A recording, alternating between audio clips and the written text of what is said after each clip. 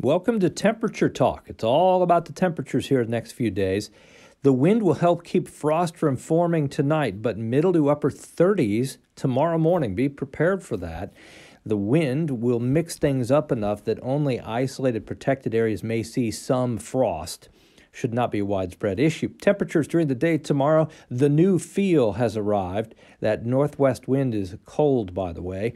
Temperatures lower to middle 50s north of Indy, should be upper 50s south. Friday will end the work week again with a cold morning in the 30s. The afternoon high temperature pushing 60 with a mixture of clouds and sunshine.